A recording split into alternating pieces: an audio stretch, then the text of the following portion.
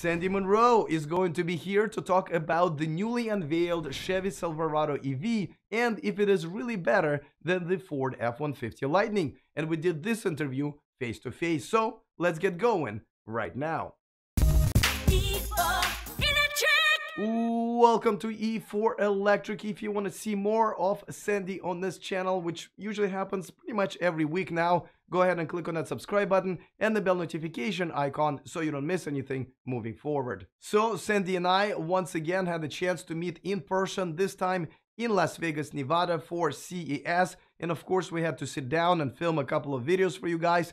This is the first one of the two, and I will air the other one in the next couple of weeks. Now, as you probably know, I personally thought that the Silverado EV is a much better electric truck than the Ford F-150 Lightning, and I have outlined why in my Sunday video, but let's see if Sandy agrees or disagrees. Both happens all the time on this channel and that's why I love having him on. Oh, and one more thing, you've probably noticed that I still sound a little bit weird, but during the CES week, my voice was pretty much completely gone. So if you're wondering who's dubbing my voice, well, it's just me. So before we get to the interview though, a quick reminder that this video is brought to you by TuSimple, an autonomous trucking technology company that recently made history by becoming the first to complete fully autonomous tests in a semi-truck on 80 miles of US open public roads without a human in the vehicle and zero human intervention. For more information, check out the link in the description of this video. All right, Sandy, um, glad to once again see you in person here in Vegas. Yeah. Um, I wish I brought my voice, but maybe next time. Um, the Let's talk about what we both seen here. Uh, well, actually, let's start with something we didn't see, which was the unveiling of the Silverado uh, electric Silverado. Um, now I know you like F-150 Lightning uh, a yeah, lot. Uh, a lot of people do. Yes. Um, now that we know what Silverado is all about, how do you think it compares? It doesn't. It's more expensive um, and it's got less features. And I think that Ford is going to have a giant winner. I really do. Um, and uh, I think the Silverado is going to come in uh, sad second. But or actually, not even second. There's other ones that I, I think are better than that too. Well, Do tell. Rivian will probably be, be a better product, and certainly Cybertruck will be. Um, well, I partially agree with you, but what about the range, right? Um, the range is substantially longer, 400 miles to 300 miles yeah. of F-150. Yeah. It does play a big role, especially when you're hauling stuff, right? Right. Um, do you think that gives it the advantage, uh, at least for some people? Okay, so um, I, I, used to do work where I actually needed a pickup truck. And I, I can't remember the time that I needed to travel uh, 300 miles to get to the job site. In fact, I, I, don't even remember 50 or 40 miles. The big thing that I think that uh, is going to be happening with the Lightning is it's so prepared for the uh, for the marketplace, and it's sold into I don't know 2037 or some, something ridiculous. I, I mean, they're way, they, they've got them sold for way out there. Whereas the Silverado doesn't have all those features that I would be looking for. And by the way, when you add, even though you may not be, you know, um, using the power um, all the time, um, having all those accessories, those accessory power outlets on the Lightning, uh, does mean that you're going to you know, it, it will deplete uh, the battery um, uh, just because they're there. Um, it's it's an it's an inefficient it's an inefficiency that that you just got to live with. And as far as uh, you know, making things so that they've got uh, a bigger battery or more range. Okay, I crawled. I we haven't had a chance to really do any detail work on the Lightning, but I crawled underneath. There's plenty of room.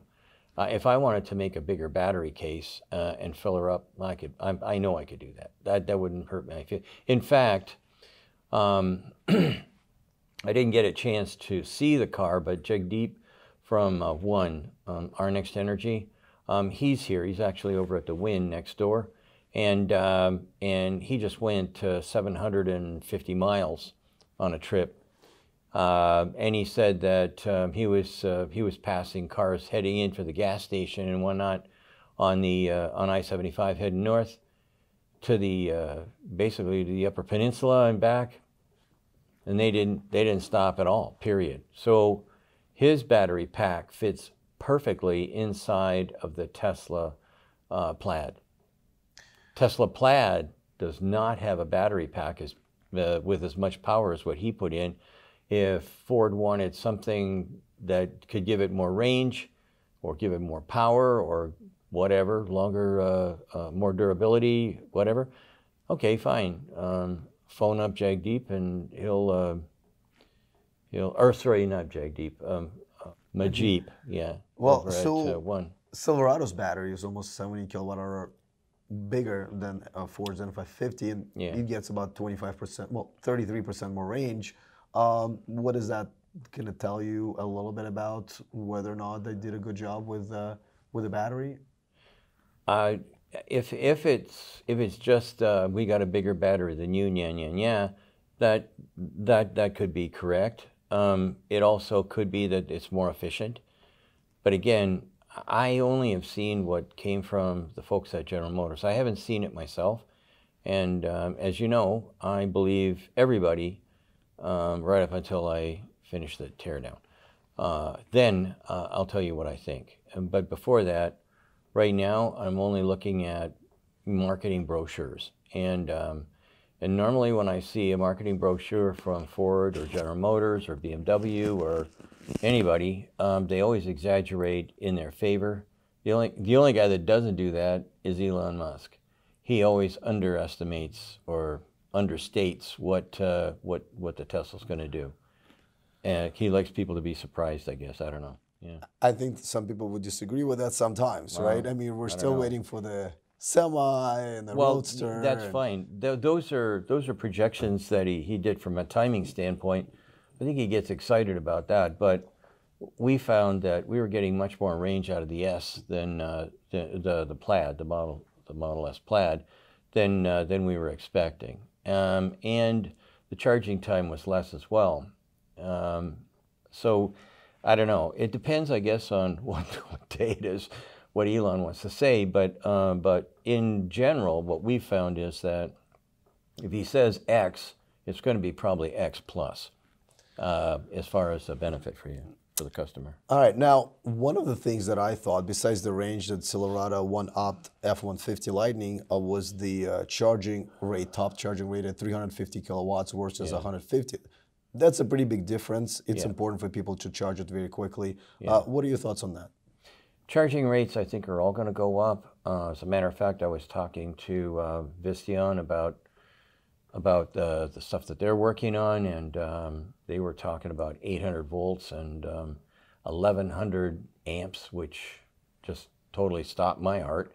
Anyway, that's what they're working on now. My guess is that um, uh, in a very short period of time, we're going to be looking at uh, a lot more juice that can be shoved into the batteries, which will make the job of charging uh, a lot faster, a lot easier and faster.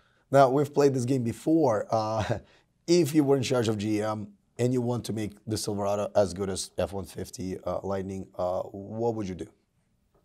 Well, it's too late really to do much anything because the, the product's got to be in the marketplace. And the last thing General Motors should be doing is trying to think about, hey, should we add this or that or change this or change.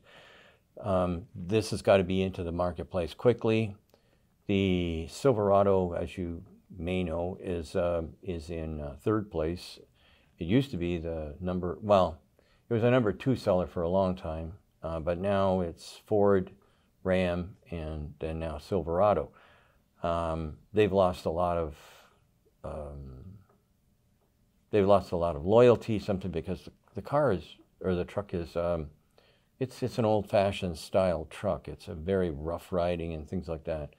Um, if I had one thing to suggest to them, I'd, I'd suggest that hey, maybe what you want to do is have a look at the Ram and see what you can do about uh, as a running change or maybe as an option and running change, put in a air suspension system like what the Rams got because quite frankly, the, uh, the Silverado rides a little like a buckboard. Now, when you put the batteries in, they'll have to change the suspension anyway because you've got the extra weight.